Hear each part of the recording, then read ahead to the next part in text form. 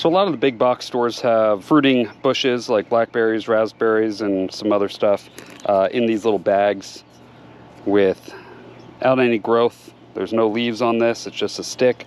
And so this is how you plant those. It's best to cut down this. If you could get scissors, hold on. We'll use my knife. So it's best to cut down this. And it does have a little dirt in there. Now, I'm not putting this in the ground, I'm putting it in a pot. But if you were gonna put it in the ground, then you directly put it in, the, in the ground. So, this is the packing material they're talking about. It's not soil.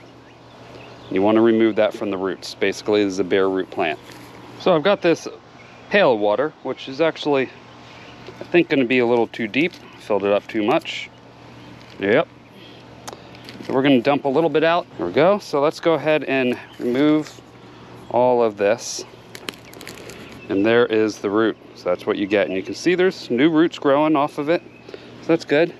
So I'm just gonna set it in there. We're gonna let that soak up water and get hydrated. It's soaked, I'm gonna be honest, way longer than two hours. it said on there, do not let it soak longer than two hours because then it can rot.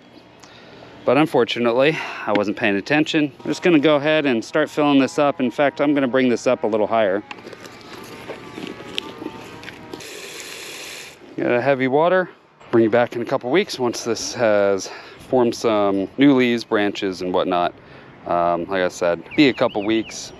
I haven't fertilized it yet. I'm gonna wait until I see some branches come off of it and once I do, then I'll go ahead and fertilize. So today is April 21st, and it's been a couple months since I planted this bare root blackberry and it finally started to sprout. You know, I was thinking maybe it died back. It, it wasn't seeming like it was doing anything, but now we have vegetation. The only problem is, if you look, every bit of this vegetation is coming out of the root stock and not here, not not the the stem.